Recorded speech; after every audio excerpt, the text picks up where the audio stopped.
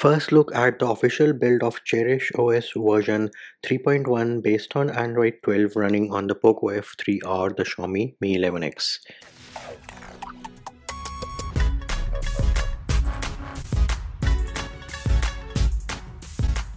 Hey peeps, what's up? Munchy here, back with another video and in this video we're going to have our first look at the official build of Cherish OS version 3.1 based on Android 12 running on the Poco F3 or the Xiaomi Mi 11X. The security patch as you can see is from November.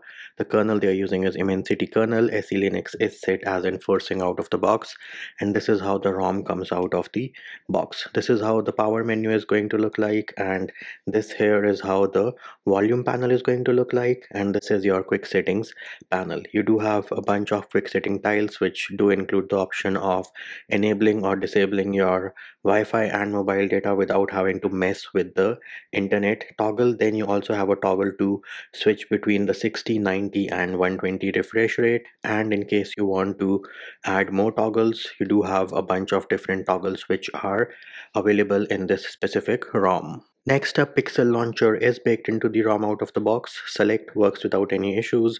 Screenshot also works without any issues. They do have the button to delete your screenshot as well. And of course, with Android 12, you can share your link and images from the recents itself. The recents themselves are pretty smooth as well.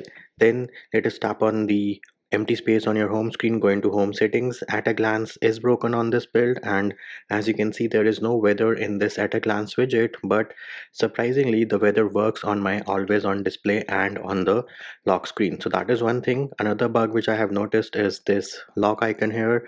Somehow it believes that my device has a fingerprint on display because of the circle around it. So that is another minor issue in this specific build. Once you have updated all your applications from the play store you do get the paint chips widget. Then if you go into clock you have all the five clock widgets and the analog one will let you choose a clock face as well. Next up if you go into the google widgets you do get the new weather widgets as well. So all the widgets are present. Let us go into wallpapers and style so this is your ui you do have a toggle for themed icons you can configure your app grid as well. And then you can also enable or disable your dark theme as well. So this is how the dark theme is going to look like. Everything has switched over to dark mode looks pretty dope. Next up if you go into change wallpaper you do have the pixel 6 exclusive live wallpapers which you can download. But let us go into the motif section and try to change the wallpaper to something else. Here it is.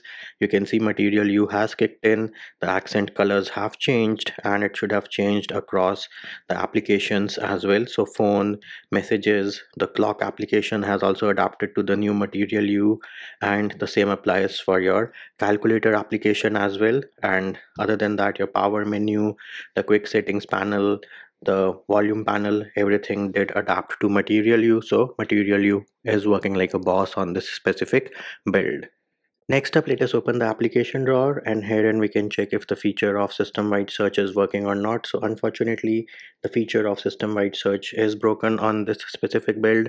You do have the toggles to control what you want to be seen in system-wide search, but the feature itself is broken. Similarly, let us go into settings and see if you have game dashboard or not. So let us go ahead and search for the word game and as you can see the feature of game dashboard is also missing. Then let us jump over to apps. See all apps and choose an application which has access to our locations. So the toggle to enable or disable your precise location that feature is also missing. You do have a toggle to remove the permissions if the app is not used for some time. And once that is done the application is going to show up in this unused applications section. With respect to the assistant the assistant lady is present. She works with the screen turned on on but she does not work with the screen turned off. Next up let us jump over to cherish settings. So here in the first option is double tap to sleep on the status bar. There it is working without any issues. Double tap to wake also works and double tap on the lock screen to put the device to sleep also works. Then you can configure your clock settings. Do you want to see the clock? What is the style the format and the position? Network traffic indicators are there. You can place them in your status bar or in the expanded header and you can configure the threshold the arrows and all the other customizations which you get. Then you have a toggle for all the different options which you see on your screen right now. Along with that you can also have a custom VoLTE icon and you can also configure what all icons you want to see in your status bar. Next up we have quick settings. So herein do you want to see the running services icon the edit icon vibrate on touch? You also have quick quick settings pull down. So if i pull down from the left they are going to be expanded. And if i pull down from the right then in that case they are not going to be expanded. And of course you have a toggle to enable or disable your quick setting footer warnings. Themes section is empty right now. For buttons this is your volume rockers customization. So do you want music control? By long pressing the volume rockers do you want them to reorient when the screen is rotated? Volume rocker wake is also there. You can configure that you want to use the volume rockers for keyboard cursor control. And you also have long press power button for torch. Here it is working without any issues on this specific ROM. Next up you have the feature of animations which of course is empty right now. Then you have customization for your lock screen so double tap to sleep on the lock screen. Do you want to see the media cover art or not? And you can also configure your blur level. Then you can configure your left and right shortcut on the lock screen and you also have music visualizer on this specific ROM. Next up you have customization for your power menu. So you do have a bunch of different toggles. Once you enable those, bam, here it is.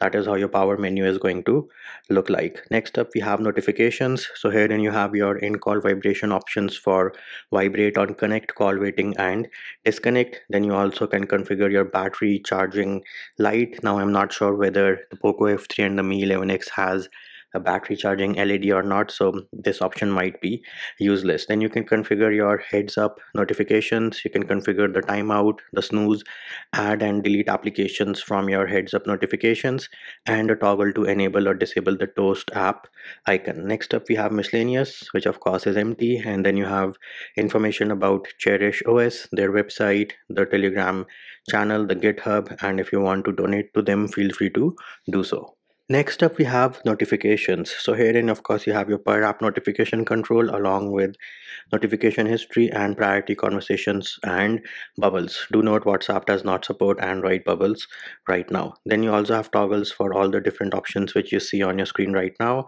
and you also have something called notification log which is similar to notification history just that it has a bit more information and some notifications which are not shown in your notification history will be shown in the notification log. Then you have your battery. So of course you have your battery usage. Thermal profiles are there and you can configure them on a per app basis. And here are the different options for your per app thermal profiles. Going to battery saver you have the normal battery saver and the pixel exclusive extreme battery saver along with adaptive battery and a toggle to show the battery percentage in your status bar. Next up we have sound. So of course you have sliders for all the different options which you see on your screen right now then you also have adaptive sound. Now with respect to now playing do not enable this otherwise you might have media lag issues. And for live caption you also have the option of live captioning your calls. So you have three different options ask every time always and off. Next up you have toggles for all the different options which you see on your screen right now. And the most important toggle which i like is the screenshot shutter sound. Feel free to disable the irritating sound Next up, let us jump over to display. So herein, of course, you can configure your brightness level. Adaptive brightness is there.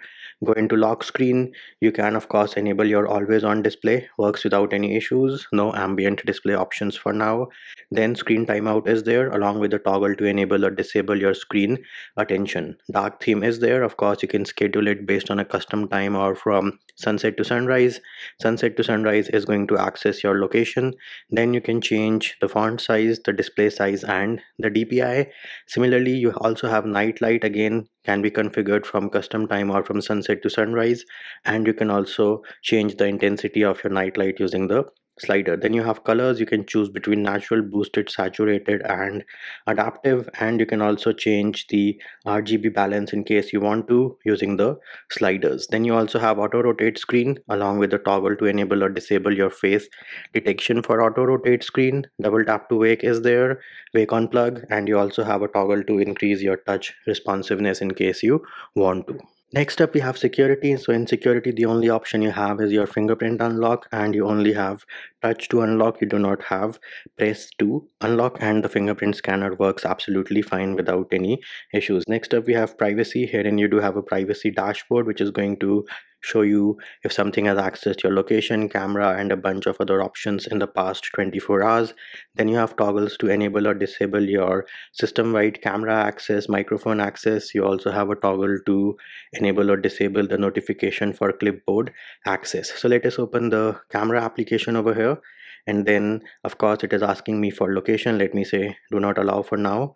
Let us try to switch over to the video mode and then we can try to record a video. So here it is. We are recording a video and at this point I should have a notification telling me that camera is being used by the camera. In fact I should have had two notifications. The other one should have told me that the mic is also being accessed. So that is another bug in this specific build.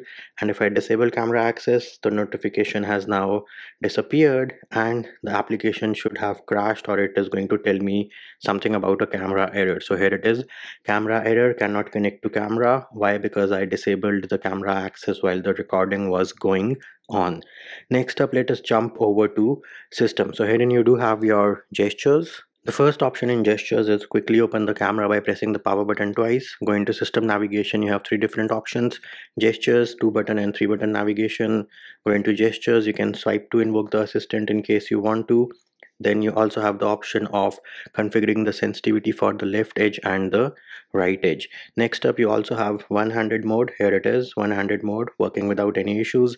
You can always create a shortcut for one-handed mode as well and then you can press on this to enable or disable your one-handed mode Next up, you also have your press and hold the power button to invoke the assistant. Now, once you enable this, how do you turn off your device? Well, you will have to use your quick settings panel in that case to turn off your device. Next up, you have the option of three finger screenshot as well.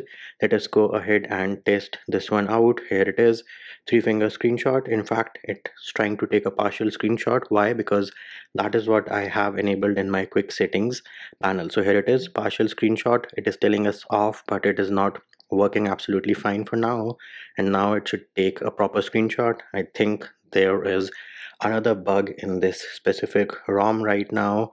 So let us give it one more try. Partial screenshot. It says partial screenshot. Now it says screenshot. So in fact at this point it should take a normal screenshot but that unfortunately is not the case. You do have the option of capture more. So now you can go ahead and select whatever content you want to capture and here it is.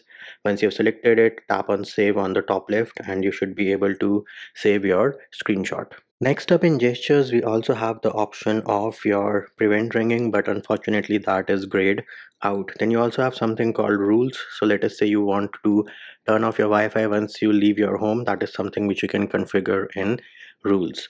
Then we can go ahead and check for safety net. So device is not rooted right now. And as you can see safety net is passing out of the box. Let us also go ahead and open the Google Play Store and herein we can check if the device is certified or not. So here it is, Play Protect certification device is certified, which means your banking apps are going to work without any issues with respect to YouTube media playback. Everything works absolutely fine. Live caption works, picture in picture works. Of course, for picture in picture to work, either you need to have YouTube premium or you need to be in a specific country in case you do not want to pay for YouTube premium. With respect to google photos you get storage saver unlimited or original quality which is going to count against your device storage. We can also try to edit a picture of my favorite football star and here it is. The feature of portrait light is present and it is working without any issues. Of course everything has adapted to material you as well. And super important thing to note over here is that portrait light only works on human objects not going to work on my chicken friend over here Next thing we can check for is the app opening animations. Do note we have been recording this video at 120 as you can see on the top left and the app opening animations are pretty smooth. There are no jitters or no lags with respect to the app opening animations. Here are the recents on your screen. Again, everything seems to be smooth with respect to the recents as well. No jitters and no lags. Then we can try to switch between a few applications. Again, everything is smooth in that regard also. No jitters, no lags when switching between applications. Super cool and super smooth. Then we can also go ahead and check out our Google Feed to see if you have any jitters or any lags in the Google Feed at 120. Nope, everything seems to be working absolutely fine at 120 now this of course is a issue which i have noticed in multiple roms that it does not you know keep on scrolling endlessly. It just stops even though the content is loaded. So at this point i think this is an issue with either pixel launcher or with the google feed or with google. I don't think so. It is a rom issue at this point but again i might be wrong on that regard. So what is the final take on cherish os well cherish os isn't cherishable right now. You do have some bugs some ui elements missing and you know some features missing so not yet ready for prime time but yes does look a pretty impressive rom considering the features the smoothness everything else. Again just needs some polishing and bug fixes before this can be considered a super dope and super cool daily driver for your poco f3r the mi 11x and that will do it for this video Hope my video helped you. Likes, shares and subscribes are appreciated. Feedback and comment more than welcome. See you when I see you.